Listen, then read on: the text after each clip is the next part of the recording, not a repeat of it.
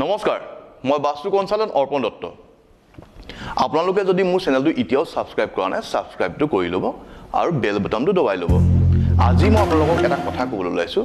সেইটো হ'ল আমি সকলোৱে জানো যে মুখ্য ব্যক্তিজনৰ বেডৰুম শোৱনি কোঠাটো আমাৰ দক্ষিণ পশ্চিমত হ'ব লাগে। হয় দক্ষিণ পশ্চিমৰ ৰুমটোৱে আমাৰ ঘৰখনৰ মুৰব্বী যিজনে ইনকাম কৰে তেওঁ থাকিলে ভাল।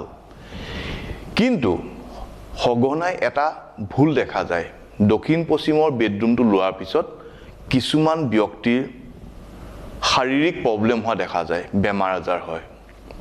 সেইটো কিয় হ'ব পাৰে? আজি কৈছোঁ আমাৰ ঘৰখনৰ দক্ষিণ দিশটো আৰু দক্ষিণ পশ্চিমৰ দিশৰ মাজৰ অংশটো। দক্ষিণ পশ্চিম আৰু দক্ষিণৰ মাজৰ জেগাকণ আমাৰ ঘৰখনৰ ডিছপ'জেলৰ জেগা।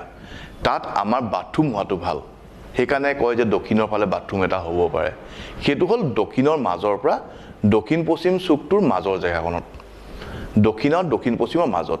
এতিয়া আমি এটা ঘৰ বনাওঁতে কি কৰোঁ? আমি ঘৰটো আঁকিলোঁ পূব পশ্চিম উত্তৰ দক্ষিণ।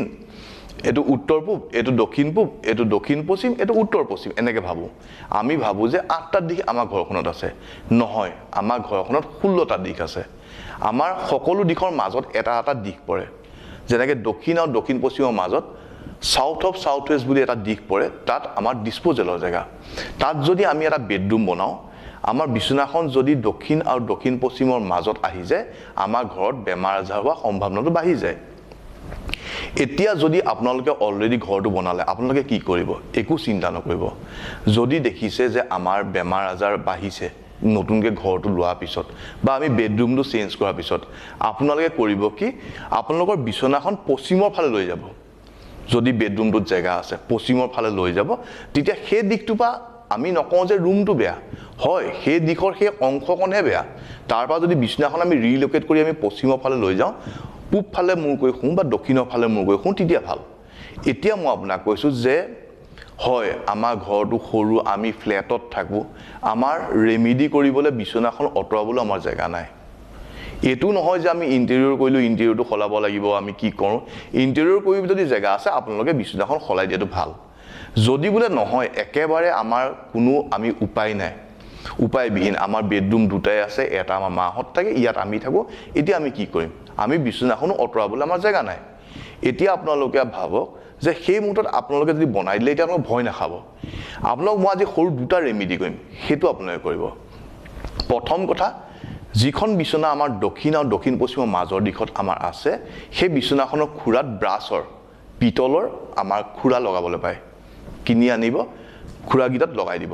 আৰু লগতে মেট্ৰেছ তুলিখনৰ তলত আপোনালোকে এক কেজি হালধীয়া সৰিয়হ ছটিয়াই থৈ দিব লাগিব। আৰু বছৰেকত দুবাৰ সেই সৰিয়হখিনি সলাব লাগিব। ছমাহৰ মূৰত এবাৰ ছমাহৰ মূৰত এবাৰ। আৰু সৰিয়হখিনি অনাৰ পিছত ডাইৰেক্ট দি নিদিব। সৰিয়হখিনি ধুই পেলাই ৰ'দত শুকুৱাই এবাৰ ভালকৈ ধূনা চুনা দি ল'ব। কাৰণ আমাৰ হিন্দু ধৰ্মত এনেকুৱা এটা পূজা নাই য'ত আমাৰ হালধীয়া সৰিয়হ নালাগে। হালধীয়া সৰিয়হে কোনো নিগেটিভিটি আহিব নিদিয়ে। এষাৰ পূজা যেতিয়া আমি পাতোঁ ঘৰখনত হালধীয়া সৰিয়হ সেইকাৰণে দৰকাৰ হয়। যে নিগেটিভিটি নাহক আমাৰ পূজাভাগ ভালকৈ হওক। সেইকাৰণে সেই দিশৰ নিগেটিভিটিখিনি আমাৰ সৰিয়হে নাইকিয়া কৰিব। লগতে সেই দিশৰ মেইন আমাৰ মেটেলটো হ'ল ব্ৰাছ পিতল। পিতলৰ আমি খুৰা লগাব লাগিব। সৰিয়হ পাৰিব লাগিব আৰু শুব লাগিব। তেতিয়া আপোনালোকৰ মই নকওঁ যে হাণ্ড্ৰেড পাৰ্চেণ্ট প্ৰব্লেম চল্ভ হ'ব কিন্তু eighty two ninety percent problem নাইকিয়া হৈ যাব। সৰু সুৰা কিছুমান প্ৰব্লেম থাকিব মেজৰ প্ৰব্লেমো বাচি থাকিব। এইটো কৰক আৰু ভালে থাকক। ধন্যবাদ।